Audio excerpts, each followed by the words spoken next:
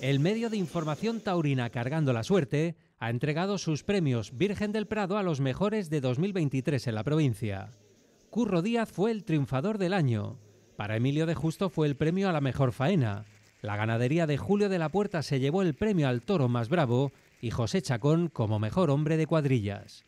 Asimismo, Aníbal Ruiz recogía el trofeo especial por su vigésimo quinto aniversario de Alternativa.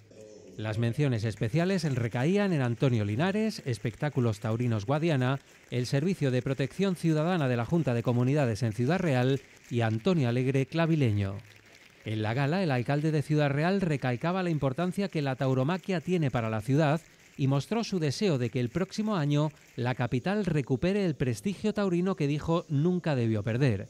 Francisco Cañizares avanzó que se está trabajando para la elaboración de un pliego de máxima garantía que permita que la plaza vuelva a llenarse de aficionados y los diestros y ganaderías más importantes puedan estar presentes en la Feria Taurina de Ciudad Real.